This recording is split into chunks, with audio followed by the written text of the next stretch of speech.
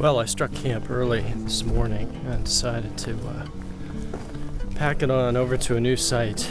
Uh, last night there was a noise from the highway that could be heard all night long, and the highway is miles and miles away.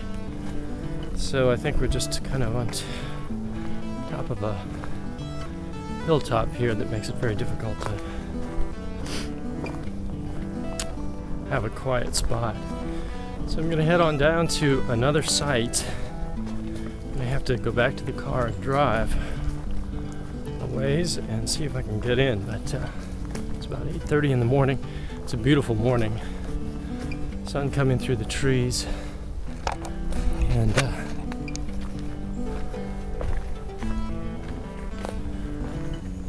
temp- temperature is really moderate. Just beautiful.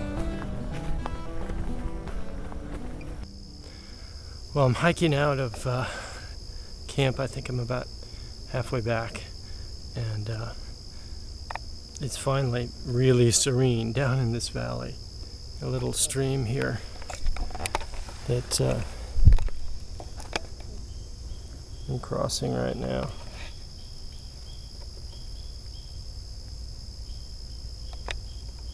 Really beautiful.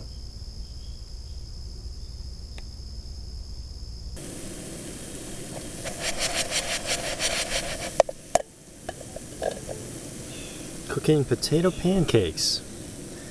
And the mix doesn't look particularly appetizing, but after it's been cooked, delicious. This is the second campsite Got the tent up.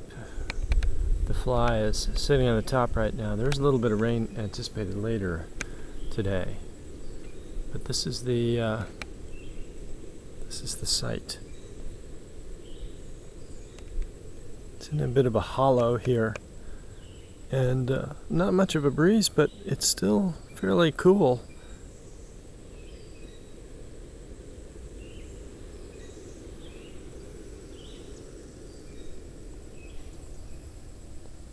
and up the hill. So pretty isolated and honestly it's also uh, pretty quiet.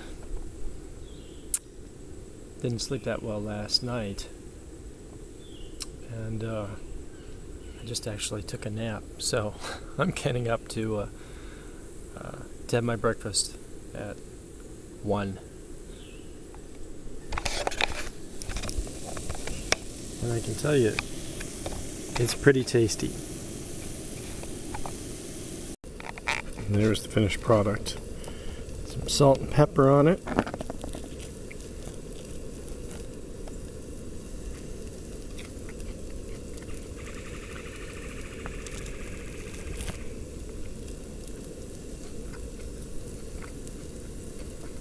That's good eating. All right, inside the REI Quarter Dome T3 Plus. This is a three-person tent. I'm solo backpacking with it uh, on this trip, but uh, we'll do so with, uh, with buddies and with my wife uh, in the future.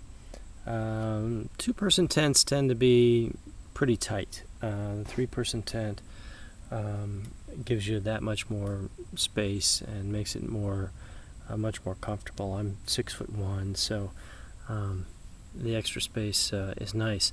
The other thing is, this is the plus model, so uh, it's it's actually I think about 10 inches longer than the standard model, and that makes a huge difference for me.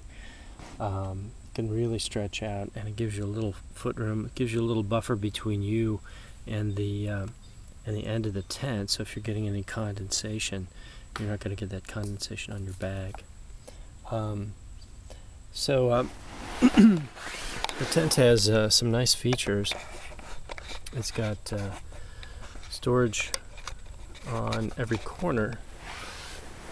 As you can see, I haven't quite set everything up uh, in here yet. And as you can see, the uh, the fly is laying on the top of the tent right now. Uh, we'll put that on later. Uh, everything about the tent, uh, the construction is really, really very well done. Um, bathtub design. Uh, you can see that the uh, the seams are completely sealed, factory sealed. There's really no reason or no need to seal these seams yourself. It's all mesh, uh, as you can see looking out of the tent, um, all the way up, just the uh, center panel on the top. And the other uh, great thing about the tent is how vertical the uh, the sides are. So if you can get a sense of this, the uh, the side walls are nearly straight up and down on the tent. So it gives you really a tremendous sense of uh, space in the tent. And as you can see, as I said, I'm I'm 6'1". Sitting here, there's probably 10 or 12 inches between my head and the top of the tent. So um, it really makes uh, makes it comfortable, very livable. If you had to hunker down in the tent for any length of time, you could certainly do it uh, in here. The uh, tent has two doors, uh, one on each side, this teardrop shape. Uh, this nice reflective uh, Kelty uh, ties uh, on there. Uh, and you saw in the setup video that the, the tent pitches very nicely. So, not to do an extensive review on this, you can certainly see um, good reviews on, on this tent or its brethren. I think Nutnfancy has a great review on the um, the T2 Plus, which is a narrower tent. I think it's the same length. It might be just a touch shorter, uh, but I think on uh, one of his videos he commented that it was a little bit tight. Um, hence uh, the uh, the three-person version, which is not tight. It's. It's very comfortable. Uh, as uh, and as I said, for solo backpacking, it's absolutely a luxurious amount of space. Um, like the tent, we're going to see uh, if we have some rain tonight, if um, if she holds out well in the rain, and uh, more on that later, I guess.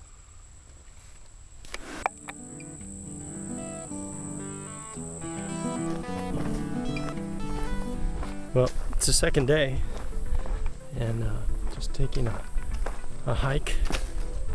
It's a really serene area. The trail weaves back and forth over a creek and uh, really quiet, beautiful trail.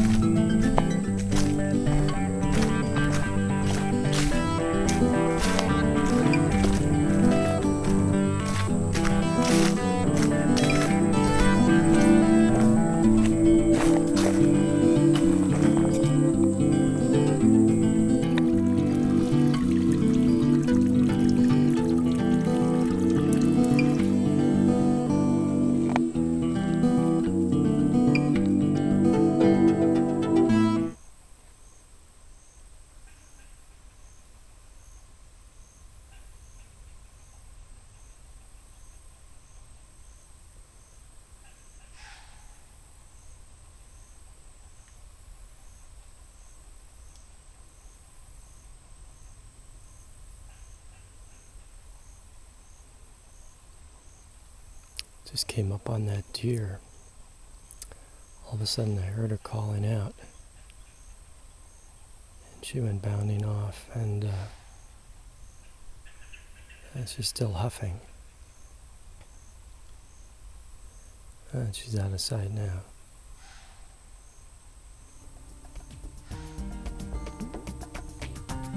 But she had uh, run by the time I got the camera. That's about the fourth time I've seen deer on this trip.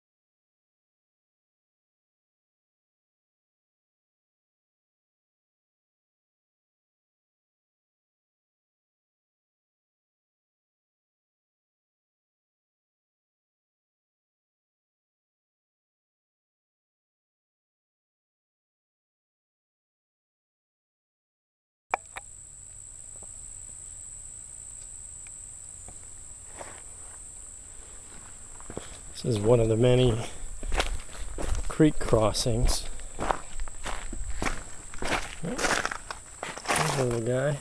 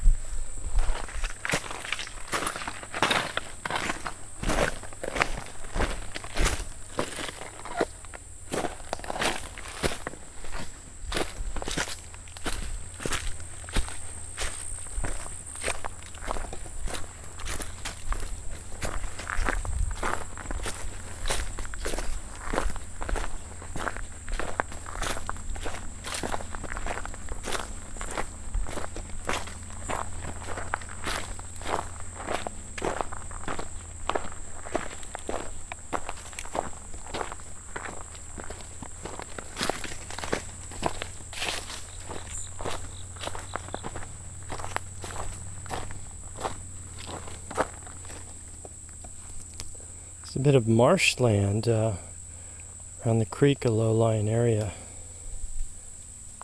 It's really thick with vegetation.